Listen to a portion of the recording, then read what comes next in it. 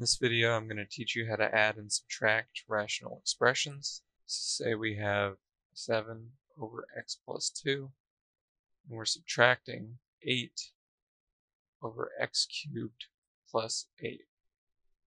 So what you notice right off the bat is for the second expression, we have the sum of two cubes. So what we're going to do first is we're going to factor what we can this is the only factorable expression. So let's rewrite our 7 over x plus 2. And to factor this denominator, we're going to write this as our a plus our b, same sign as x cubed plus 8. We'll have our a squared, and then the opposite sign so minus a times b.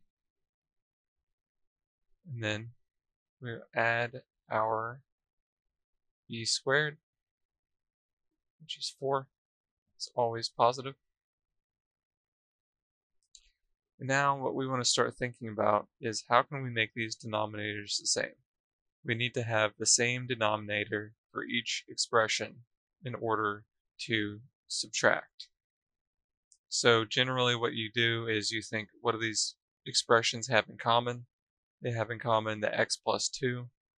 So we're going to be multiplying by the x squared minus 2x plus 4. So what this looks like is 7 times x squared is 2x plus 4 over x plus 2 again, we're multiplying by x squared 2x plus 4.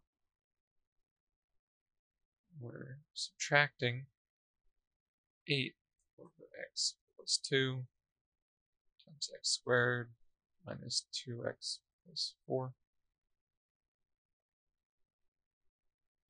And so now you can see they both have the same denominator. This is the lowest common denominator they can have. So now all we have to do is combine these two. 7 times x squared minus 2x plus 4 minus 8 over our common denominator.